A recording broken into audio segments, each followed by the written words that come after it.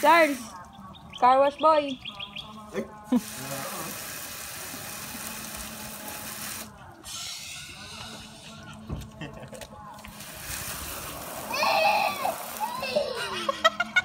Ayaw daw.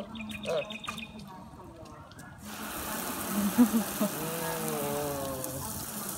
Mama, look at me.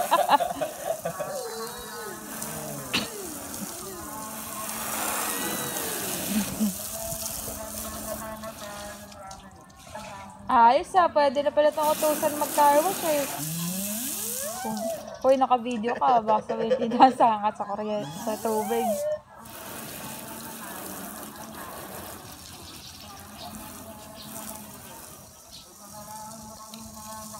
Charles, pa-cute habang nagka-car wash. pa-cute. Pero masito, pero masito. Thank you. Aber,